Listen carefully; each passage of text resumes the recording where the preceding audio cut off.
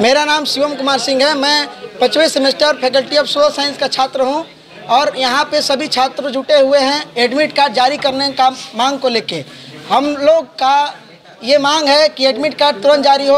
आपको बता दें कि जब परीक्षा हमारा पाँच दिन के बाद शुरू होने वाला है और ये कहकर हम लोग का एडमिट कार्ड जो लागू जारी हो चुका था उसको हटा दिया गया पोर्टल से कि आप चौथे सेमेस्टर का टीडीएल क्लियर कराएँ। टीडीएल का मतलब है किसी छात्रों का एक दो समय, एक दो सेशनल में मार्क्स अभी नहीं आया है, फोर्थ सेमेस्टर के। सेशनल तीस नंबर में वो बाद में भी हो सकता है। ये पहली बार हुआ है, इसलिए छात्र अवगत नहीं थे और पाँच दिन बाकी है, उसमें ये कह रहे हैं कि टीडीएल क्लियर कराइए।